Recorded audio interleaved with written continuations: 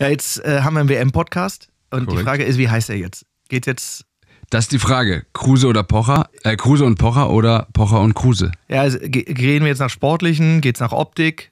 Geht's nach Ich, ich würde sagen, in beiden Fällen liege ich vorne. Immer, ja. Von okay. daher für mich absolut Kruse und Pocher.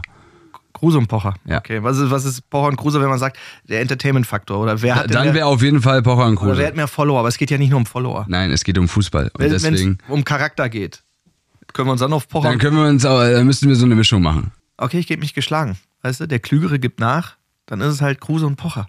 Absolut einverstanden bin ich. Ja, gut, dann lassen wir es so. Das ist der beste WM-Podcast aller Zeiten. Können wir uns darauf einigen? Ja, und wo kommt der? Regelmäßig immer bei Podimo. Exklusiv. Wo denn sonst?